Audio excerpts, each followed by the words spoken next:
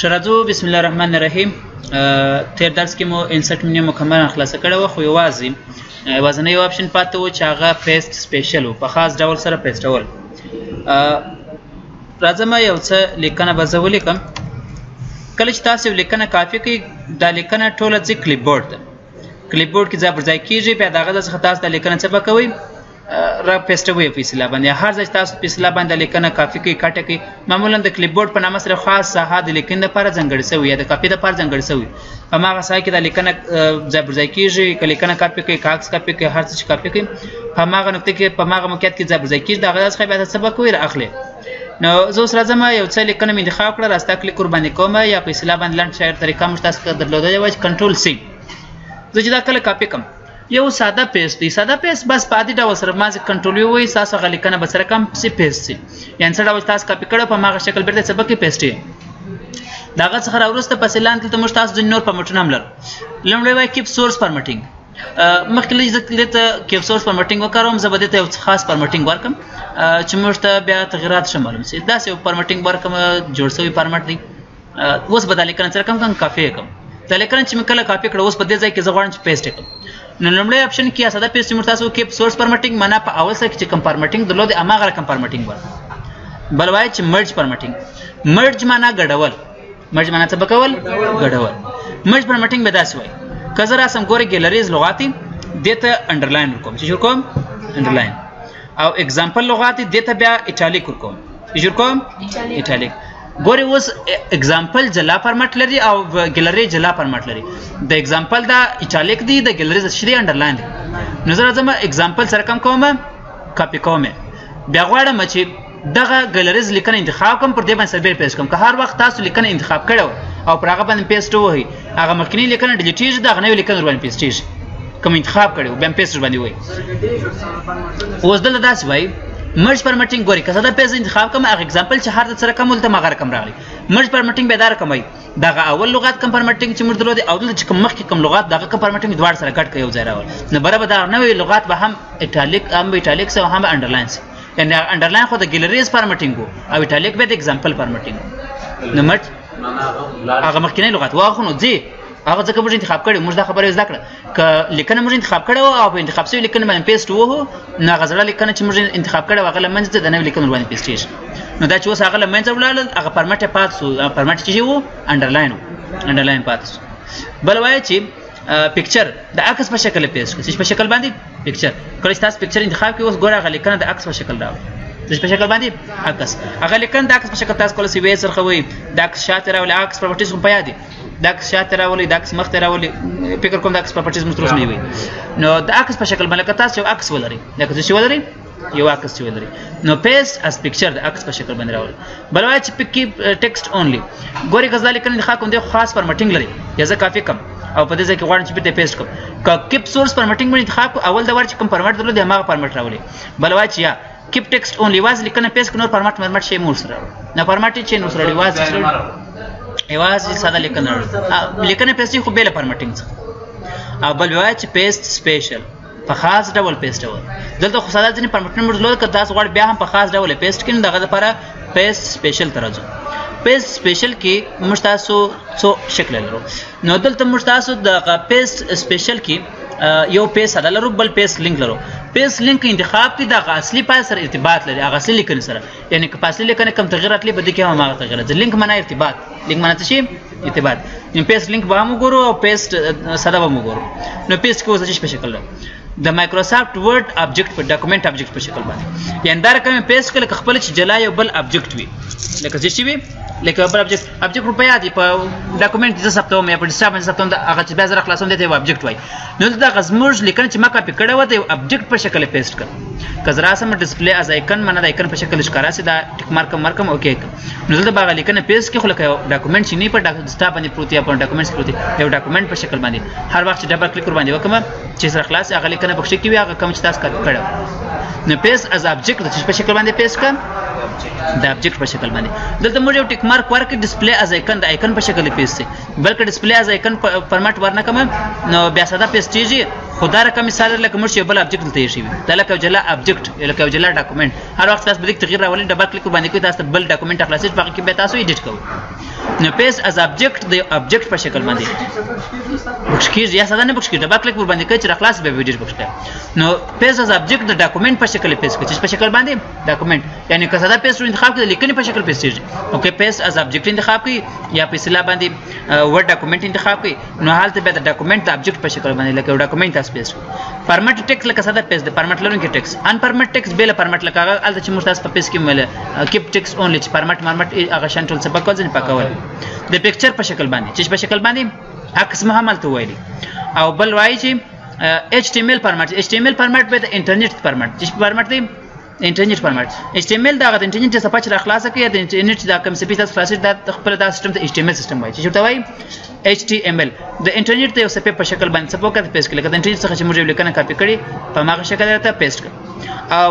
ان پرمټډ یونیکوډ ټیکسټ دا هم یو ان پرمټډ ټیکسټ یعنی بغیر له پرمټ څخه دی خدا یونیکوډ یونیکوډ به ان شاء الله تاسو په کورلډرا کې پیژنې چې یونیکوډ زبلند ډول ته پیژنې یونیکوډ پرمټ چې د یونیکوډ چې ویل کېږي د ژبې اساس ته ویل کېږي لکه د هر ژبې خپل ځان ته یو ځانګړی حرف یا په اسلام باندې کوډ لري لکه په دغه کې په سپاره کې تاسو هغه دغه دلی هغه ابجد حروف چې مندلي هغه د الف د ب او د جیم د پر د ټول عرب د پر ځنګړي کوډ لیکل شوی د انګلیسي کې په هر ژبه کې د هر حرف د پر ځنګړي کوډ سره نو دغه د دې کوډ اساس یونیکوډ ویل کېږي ژردول کېږي یونیکوډ یا د ژبې هغه د اساسي سرچینې ته یونیکوډ ویل کیږي نو دا میوان پرمټ یونیکوډ پرمټ دی دا په پیس لینک به وګورو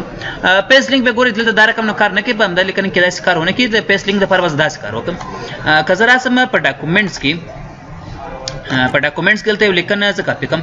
د بوک وان په نامه سره په نامه سره ده بکوان زه اعظم دلته دا کاپی کوم زه غواړم دا کاپی سوی لیکن دلته په ډاکومېنټ کې پیس کوم دا ما ډاکومېنټ کاپی کې چې کاپی کوم ډاکومېنټ لیکن نه کاپی کړ نو ډاکومېنټ په کاپی کړ دی غواړم دلته پیس کوم نو اعظم دلې درېږم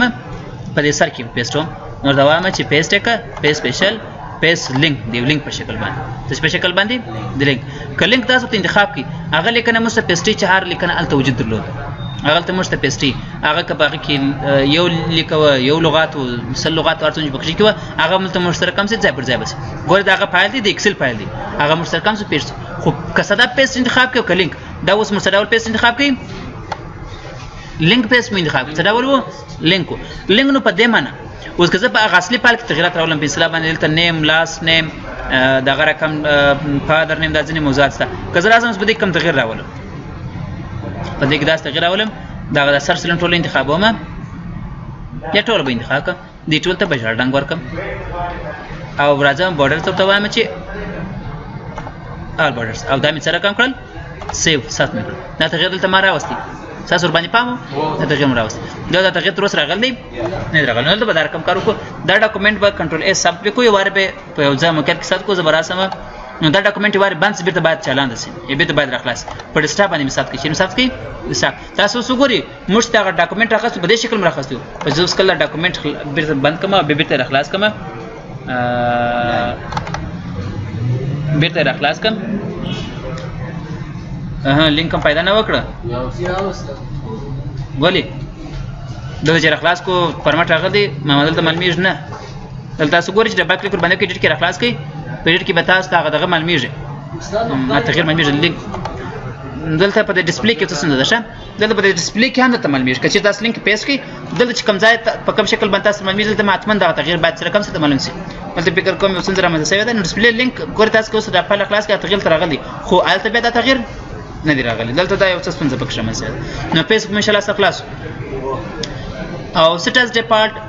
پیست دا کم پیست طریقه چې کاروم په اصطلاح باندې کزه به پرمټه کاروم بل پرمټ سټرس د پارت خپل هغه عادي حالت باندې څه پوکه وی ګرځاو نو سټرس د پال د پار تاسو عمومي ورډ اپشن تراوري په ورډ اپشن کې به تاسو راځي د پاغه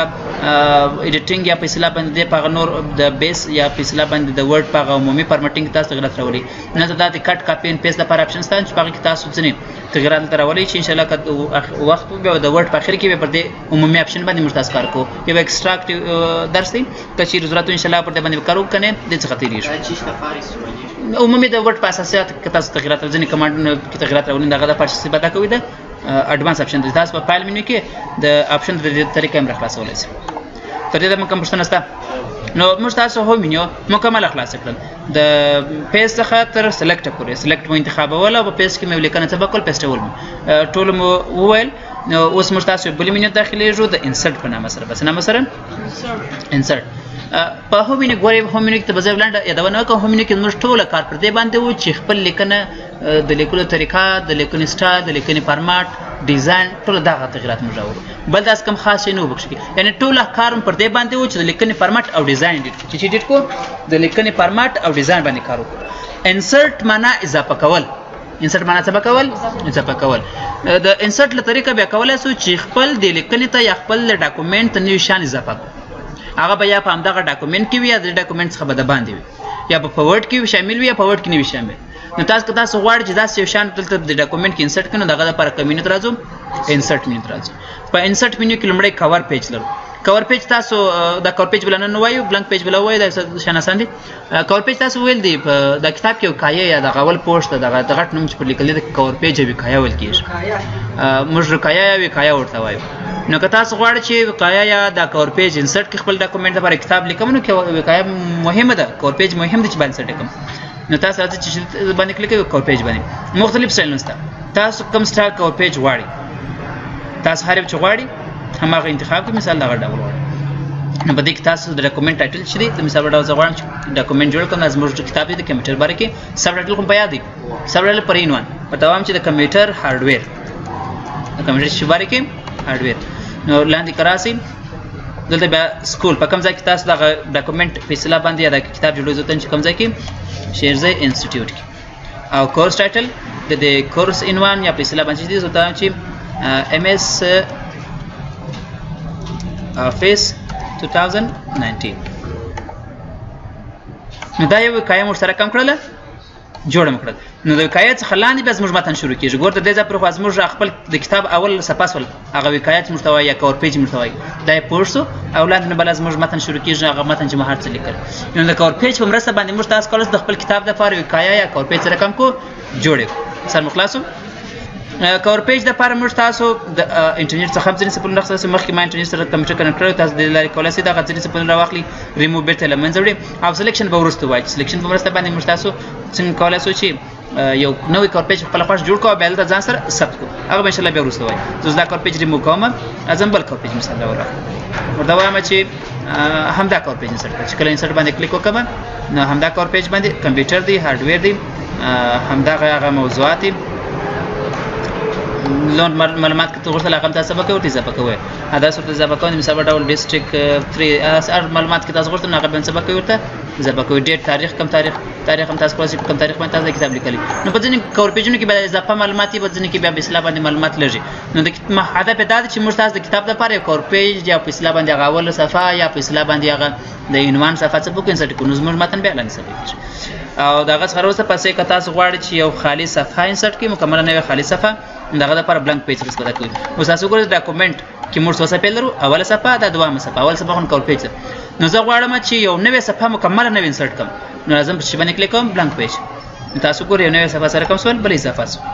کبل صفحه غواړ بیا پر بلانک پیج باندې کلیک کوو نو بل صفحه هم سره کوم صفحه سي نو د بلانک پیج په مرسته باندې موږ تاسو کولای شو چې یو نوې خالي صفحه سره کوم کوم